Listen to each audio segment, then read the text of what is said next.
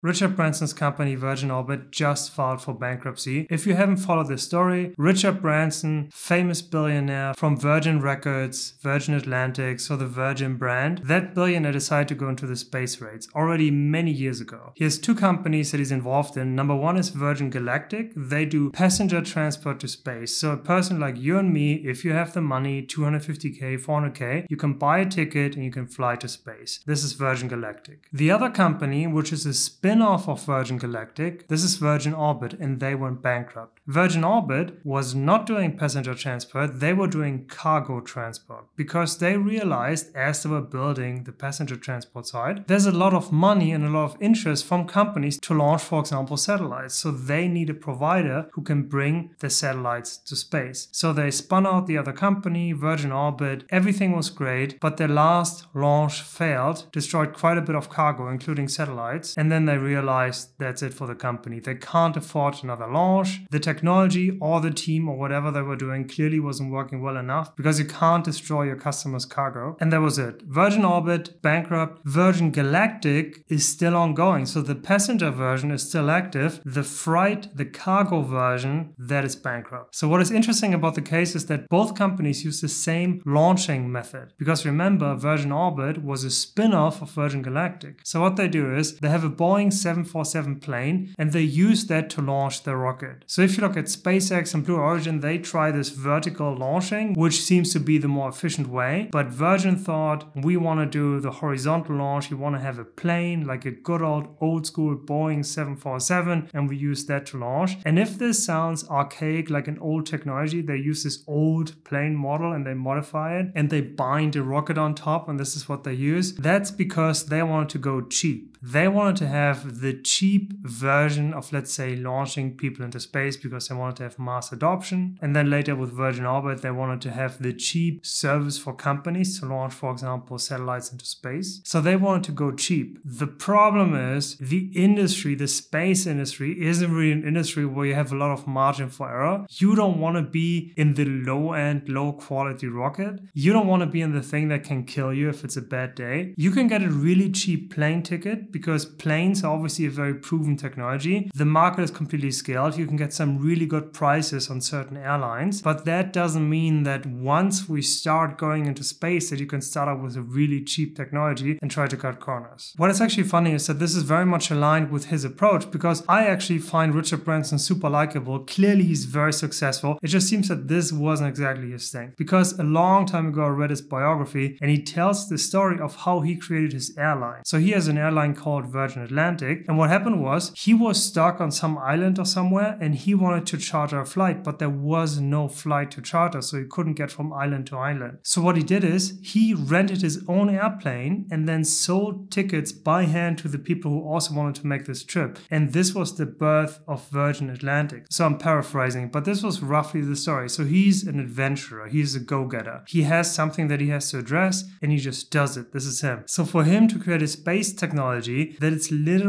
stuck on a Boeing 747 makes so much sense because he's a tinkerer. He just puts things together. He has an idea. He wants to try it out. He sees if it works. And obviously, he knew that if you can make it cheaper, it's going to be amazing. But clearly, this approach is very dangerous in the space industry. So, reason number two of what happened if you look at SpaceX and Blue Origin, SpaceX, Elon Musk, and Blue Origin, Jeff Bezos, these are very obvious direct competitors. They themselves, and obviously the other companies, they are tech companies. Richard Richard Branson is very clearly a very skilled businessman, very good at executing businesses. He started so many businesses. Just check out the Virgin Group, how many companies are under this logo. It's crazy how much he has created. So he clearly is very skilled, but Richard Branson isn't really a tech guy. He's more of a marketing and business guy, especially marketing because he became famous because of all the stunts he did. And he was also one of the people who went to space with his own space airline. And in the last few decades, he has done a lot of different things but not a tech guy. And a little side note, because of a different project, I was looking at Hyperloop. So Hyperloop is this concept of the vacuum train. I believe Elon Musk was the one who came up with it, which is kind of ironic. But the concept is that you have a vacuum tube. So basically a tube where you suck all the air out. Without the air in this tube, there's very little wind resistance. So you can have a train go really, really fast in this tube because there's no wind to really give it resistance. So this is the idea. Elon Musk, I believe, called it the Hyperloop. There's companies that are trying to do that. Probably problem is it's quite expensive. I've seen some numbers that it costs like 350 or something million dollars per kilometer just to set up the track. So it is quite expensive. And as far as I know, there isn't really a good commercial train even existing. So this is all kind of in the prototype phase. Richard Branson was also interested in one of these Hyperloop companies. So he got involved with one. They were called Hyperloop One. And then they changed their name to Virgin Hyperloop. So this was then one of the companies under the Virgin brand. And they were focusing on passenger transport. And Richard Branson loved that because he's totally into reaching the direct consumer, working with the direct consumers, which fits to his other businesses. He was doing the airline, he was doing music, he was always interacting with people, which is obviously one of the reasons why he has become so liked. But this Hyperloop company realized that this model doesn't work. For whatever reason, there isn't a demand for that, it's too expensive. So they moved to the freight sector, to the cargo sector. And as soon as Richard Branson and Virgin realized that, they dropped out. Now the company was named Virgin Hyperloop for like three years, and now it's back to its old name, Hyperloop One, because they dropped out. They said, yeah,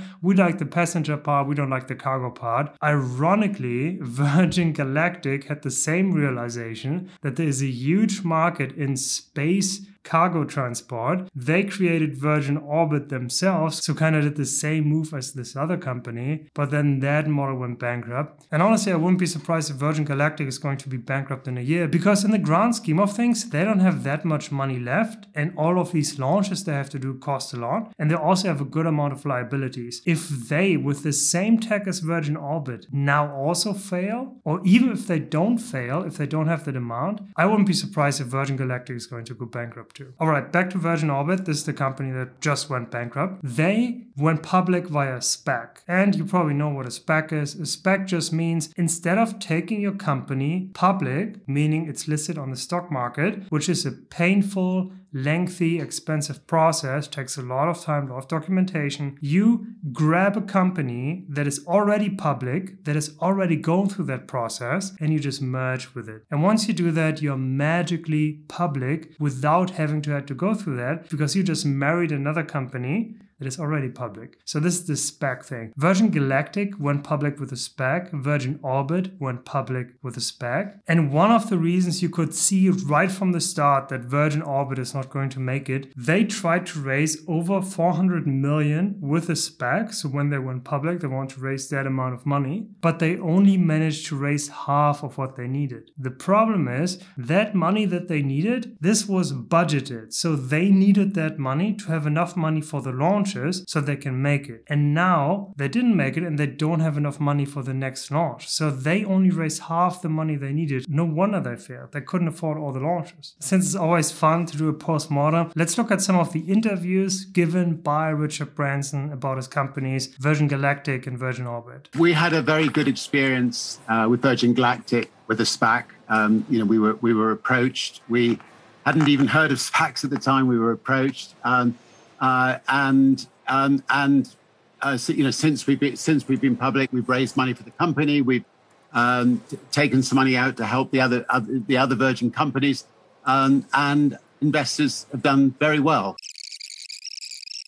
We've, we've managed to raise we, we, we will raise money for the company, and and and I think it's a you know a very a, a, very positive step for Virgin Orbit. A SPAC is easy money. Why do you go public with a SPAC? There's only one reason. You want to have the money faster with less effort. Every interviewer asks this. It's honestly so dumb because the answer is so clear, right? Why did you go public via SPAC? Why didn't you go public the normal way? Uh, we wanted to have money faster with less effort. This is the one answer. Some CEOs say, "Oh my God, a SPAC! It's like the new modern thing. We find it amazing, find it super interesting, and this great offer. No, it is money that is faster with less effort. That is a SPAC. The thing with the SPACs is they went down big time. So this interview is from August 2021. when you see a SPAC, a SPAC deal closing, you see the stock price going up and then it always crashes down. So investors did very well. Short-term investors did very well. Long-term investors lost almost all their money. What is funny about the SPAC is Chamath, whatever his last name is, he was the one who approached them. He went to them and he flipped his money. I believe he put down 100 million and he took out over 300 million. He actually also also got sued in 2022 when he left the bar because he dumped all his shares and left. But that's a different story. You know, we're we have a pipeline that is currently at about four billion,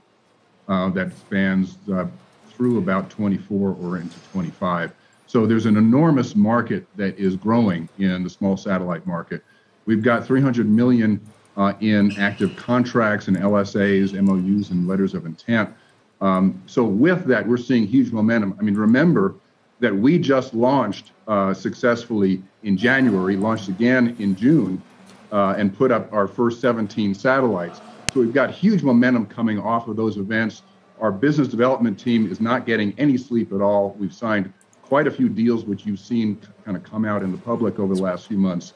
So we're quite optimistic. Yeah, that's not surprised at all because Virgin Galactic has these extremely expensive tickets for passengers. For a single individual, it's obviously super expensive. If you're like a multi-millionaire or billionaire, you can afford it, but you're not going to spend all of the 250k you have and then this is gone. So this is one thing. But Virgin Orbit with the cargo transport, and he is the CEO of Virgin Orbit, the company that now went bankrupt. Of course, if you create a technology that seems to work well, that is cheaper than everything else, you're going to have a lot of demand. They're going to be very, very interested. Why wouldn't they? Let's say you have a ferry and you have the cheapest ferry around. You say, hey, I'm going to have the cheapest ferry. It's going to be ready to launch, let's say, in one year, and you're going to be half the price or whatever from all the other ferries. Everybody's going to want to work with you and say, hey, we want to have this one. This one is cheaper. We're a business. We have a bottom line, shareholder value. We want to take the cheapest one. If it's reliable enough, we're good. So at this stage, there's absolutely no point in bragging about this. What is the point is, does the tech work? Because if the tech doesn't work, all the demand in the world is not going to help you. They raised half the money that they needed, needed over 400 million, raised about 200 million. So they couldn't do as many launches as they wanted to. And clearly it wasn't consistent enough because they had a successful launch, but then in 2023, they still had a failure. Um, well, first of all, forgive, we got a lot of customers who've had um, all their satellites put into the right positions in orbit today is celebrating in the background. So uh, if you hear a cheer or two, they're just excuse us. Um, yeah, I mean, it's been an incredible couple of months with uh, Virgin Galactic doing an absolutely seamless uh, flight uh, in, into space, um, and uh, and Virgin Orbit today going into orbit, traveling at 17,500 miles an hour, and just dropping dropping off uh, seven satellites successfully into the right positions around around the Earth. And and this is their second their second flight in a few months. Yeah, this is actually a very interesting comparison because Elon Musk, I believe, he talked about this that SpaceX in the early days they had the same issue because this technology is so expensive that a single launch costs a lot of money, and they have to like budget. Okay, we have this launch, this one is one validation, then we have this launch, and this is all the money we have. And they had the last launch. If this launch had failed, this was like the Elon Musk uh, SpaceX story. If this launch would have failed, they would have been bankrupt but luckily it succeeded. But of course, it's always a combination of luck and skill, so it's never just one of them. So I think Elon Musk is very well known of being extremely hands-on and being in the weeds, while I don't see Richard Branson the same way. I see him as a very skilled financial person, market person, commercial person, but the company failed not because of the commercial part, although you could say the SPAC was maybe like a bit of an odd move, but they got 200 million, so it's not that bad. But it failed for technical reasons. It failed because there are some things that were said about these planes, or let's say these launches, were very susceptible to human error. Because the technology didn't have the same software safeguards that, for example, SpaceX and similar technologies, it was a little bit archaic, a little more simple, and they needed very skilled pilots. And the one pilot that died, I believe in 2014, died because I think it was like an obvious mistake where he pulled the brakes while they were fully accelerating and then the whole thing blew up. So it's one of these things, less safeguard. And there was also with the safeguards from the people who were supposed to check things. There was one lengthy report looking at the crash, and they found out that a lot of the checks that should have been done carefully weren't really done. There was like a checklist, and they just checked everything without properly checking them. So there was a lot of stuff like that. And it's kind of sad because Richard Branson is very excited about what this tech can do, but he doesn't seem very excited about the tech itself, and he doesn't seem very hands on when it comes to making sure that when your whole business depends on these very few launches that are extremely expensive, that you are in the weeds and taking care of them and trying to manage everything and trying to help people and trying to make sure that on the big day no errors are going to occur because the stakes are really high. This is not a car. If it breaks down, it's just standing there. This is a spacecraft. If an error happens, you're guaranteed to lose all your money. There is no margin for error. Just, just a, just a fun one because the, the, the plane that um, that we converted to do this mission is was was one of the 747s that worked for uh, Virgin Atlantic for many, many, many years. Uh, and the time that we actually they actually launched the, the rocket just happened to be uh, 7:47 this morning. So uh, I don't know. I'm, I'm, I'm not. I'm, I'm not one for these sorts of things, but 747 and yeah they nailed it. They weren't they didn't realize that's what happened. Yeah that's him. He's like an adventurer. He's like a romantic. He used one of his first 747s for the launch. Why would you do that? You want to make sure you have the best tech. But he likes public stunts. He likes things that sound good that look good that make for good stories that are fun to do. If you read his biography there's a lot of moments where he thinks should i do something? And then he asks himself is it going to be fun? And if he answers yes he does it. Why did he go to to the aviation industry, to the music industry, because it seemed fun to him. This was a fun thing to do. And why did he drop out of Virgin Hyperloop when they went to cargo transport? Because it was less fun to him. He wanted the passenger transport. Same with Virgin Galactic. Dropping a, a week ago, dropping a a giant rocket from a 747 into orbit with uh, with Virgin Orbit, our sister company, and then a week or so later, uh, you know, being propelled into space from uh, a mothership that we built. Yeah, so I, I, I, am going to wake up tomorrow and think, yeah, I don't know. Maybe by tomorrow I'll come down.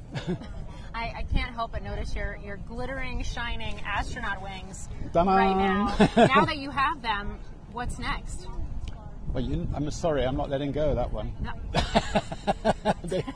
um, What's next? Um, you can see he's very childlike. He's very charming. He has a very natural charm. He seems very down to earth. He doesn't talk down to people. He's always interacting in a good way. And you can see a lot of old interviews with him. He was always like this. And it's actually kind of cool that you have a billionaire who's really old, but who still has this childlike persona. So I think he himself as a person for sure is an inspiring person. I think you can't deny that based on everything he's accomplished. And he probably really cares about these companies. But but also he is going to be fine no matter what. He's not going to file for personal bankruptcy. He has a lot of money, he has a lot of other businesses. He's still a billionaire, even if these companies fail, it's not so important. But a lot of the success he had in the past was accomplished through marketing, through media sense. He also recounts the story of the media sense that didn't work. He always talked about crazy things where they tried to get into people's heads, where they tried to inspire people. Like when he created Virgin Atlantic, his airline, it was just a different look, a different feel. They were talking in a different way. It was like, oh my God, this is different. And he always wanted to be that. Virgin Galactic wanted to launch passengers for a while now, but they haven't. They keep postponing. I think now they say 2026. For a while it was like 20 2022, 2023, but now it's 2026. So they keep pushing the date back. I think they're dying as well. I think they had a wrong focus. I think they had a focus on brand, public stance, publicity, diversity, but they didn't have enough of a focus on innovating and improving